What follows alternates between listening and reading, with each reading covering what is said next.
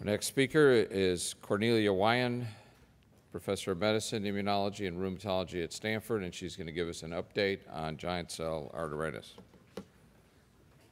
We need an update on looking at immune-mediated disease. And why do we need it? Because for about uh, 50 years, since we actually know about the existence of the immune system with its different uh, components and cells, we have believed that immune-mediated disease means there's a breakdown of tolerance, and Gary explained this so nicely.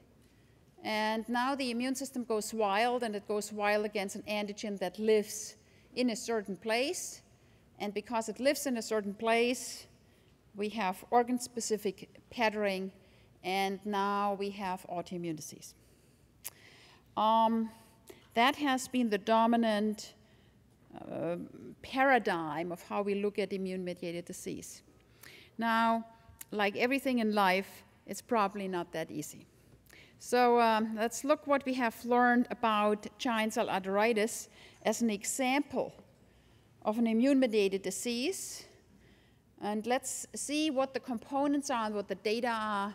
And if we then hold it up to that paradigm, what are we left with?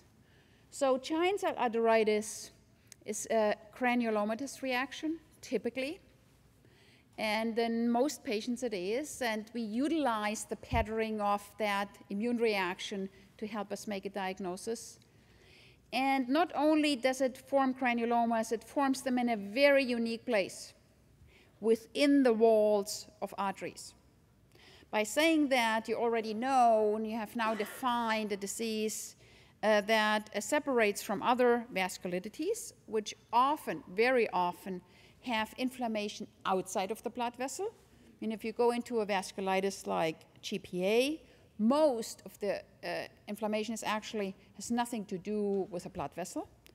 Um, but that will not happen in GCA. GCA restricts itself to the wall of a blood vessel.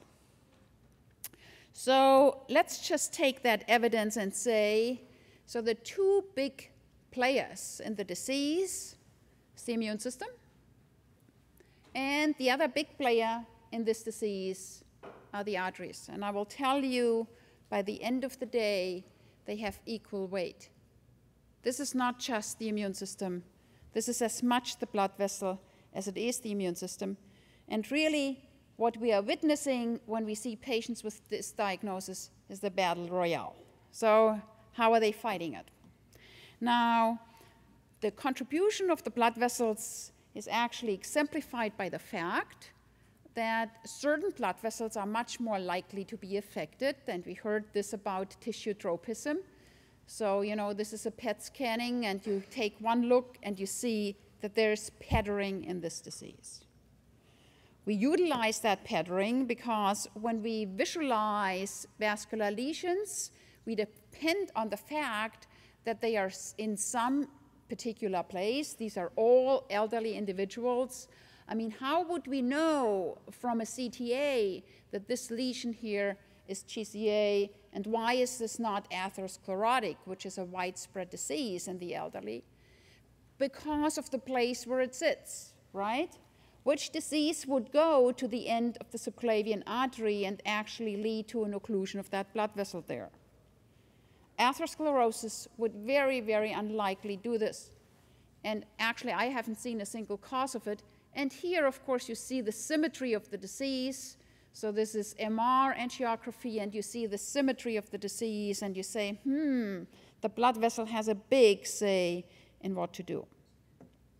What has become clear to us is that actually when the aorta is affected in this disease, one thing we need to deal with is um, that they dissect the wall, which again emphasizes the fact that this occurs in the wall of the artery, whatever is happening. And the younger the patient is, the more likely they are going to dissect. And you see this here. This is a patient treated in 2008 for a diagnosis of polymyalgia rheumatica.